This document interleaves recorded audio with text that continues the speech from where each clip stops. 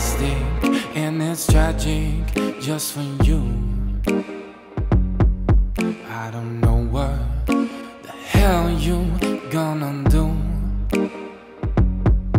when your looks start depleting and your friends all start leaving.